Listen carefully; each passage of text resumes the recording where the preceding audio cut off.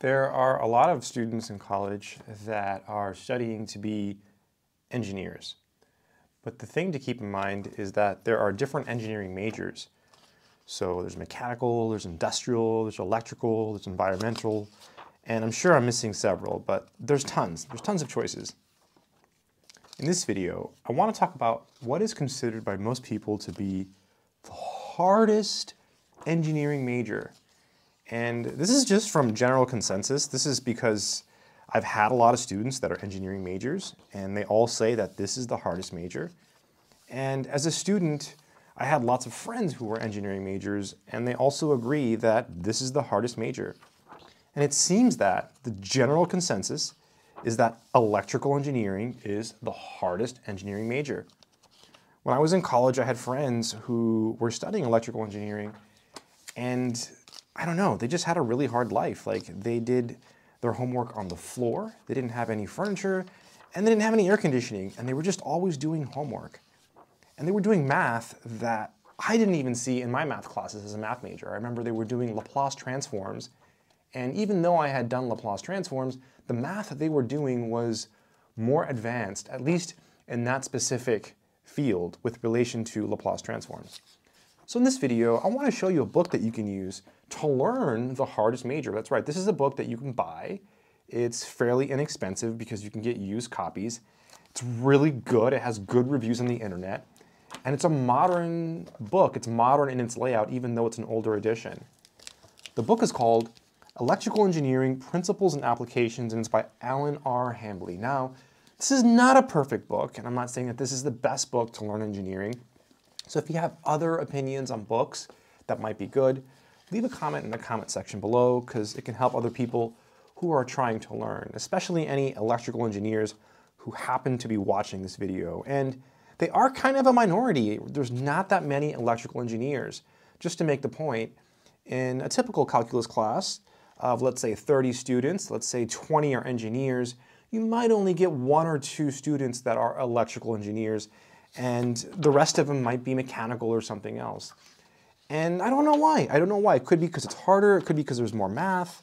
I don't know. So let's take a look at this book because I think this book is perfect for anyone who's interested in learning what electrical engineering is and what it's about. So this one's an older edition. This one is from 1997. It's dedicated to Judy and Tony. And here are some of the topics that you cover as an electrical engineer. And again, it's very accessible to people. So if you know some mathematics, you can actually pick up this book and start reading and learning. Starts with an overview of electrical engineering. That's the introduction there. It talks about some of the laws. Resistive circuits. So you do see some math here. We'll look at some of the math there in a minute. It's math that you might see in an algebra or pre-calc class, actually. Inductance and capacitance. Transients. Steady state sinusoidal analysis. So topics that you might be familiar with or you might not be familiar with depending on whether you know some electrical engineering. And if you don't, that's okay. This book is meant to teach you, you know, from the ground up, some basic concepts in electrical engineering. Yeah, this is really cool. It's really interesting because I think that it would be cool if people who took engineering classes could learn this, you know, maybe at the same time they were learning some of the math so they could see what it's like Electrical Engineering Principles and Applications. What a nice book. See what it says here. In this chapter, we introduce electrical engineering.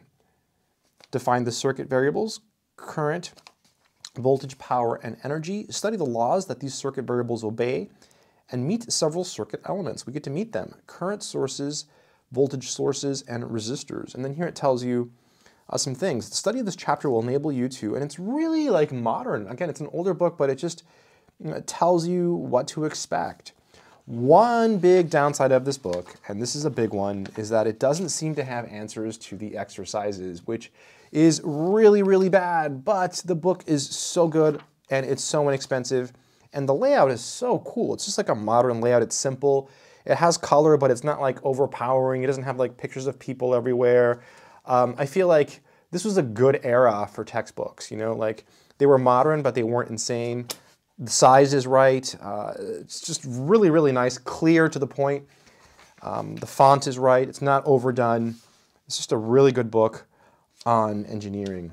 Let's look at some of the math. Let's just jump around. So here we have something that you might have seen in a pre-calc course. This is a method for solving systems of equations. And here you can see why this method is kind of beneficial. You have decimals and stuff. So whenever you have decimals and you're solving systems of equations, it's kind of annoying to have to um, you know, use traditional methods. I mean, you could you know, multiply both equations by 10, and that way those decimals become whole numbers. But this book uses another approach. It uses something known as Cramer's rule. And so you can use Cramer's rule to solve the node voltage equations of example 2.7. And then it goes through, and you can see it actually does show the work, which is pretty cool, right? So it's really fun when you, when you pick up a book like this on engineering, and then you, you see that you can use a lot of the mathematics that you've learned in other classes. I, I, I don't know, I just think it makes it cooler.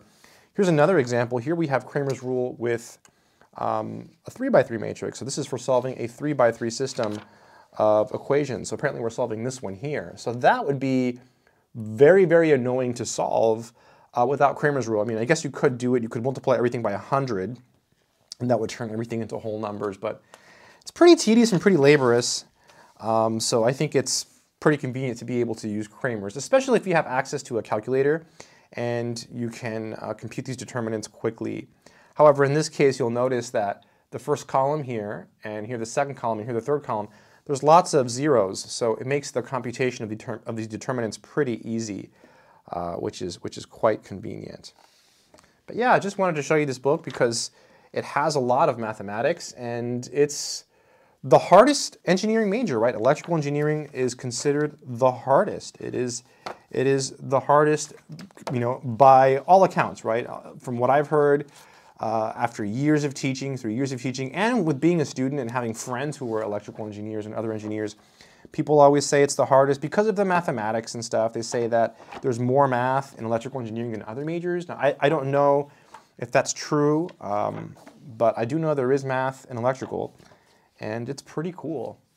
So yeah, just wanted to show you this book. What do you think? Do you think electrical is, is the hardest major? Do you think other engineering majors are harder? Leave a comment in the comment section below. And if you want to learn mathematics, I do actually have math courses. I don't have an electrical engineering course, but I do have math courses. They're on my website, mathsorcerer.com. They're actually on the Udemy platform, which is reputable and stuff. But if you buy my courses, please use the links from my website, mathsorcerer.com, as it helps me greatly. Also, it helps you because I've lowered the prices to make them as low as possible. So if you use my links, you should get a really low price. And if you found any value in this content, feel free to subscribe if you want to.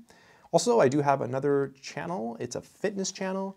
And of course, it's called the Fitness Sorcerer. So yeah. Anyways, if you take anything away from this video is, it should be, is is electrical engineering the hardest major? What do you think, right? Let me know. Leave a comment below. Until next time, keep doing mathematics or engineering.